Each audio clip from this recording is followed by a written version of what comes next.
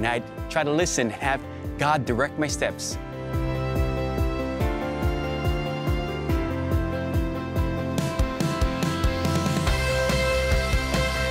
We need a clear call to action. This is my story of uh, God and Jesus calling me to action.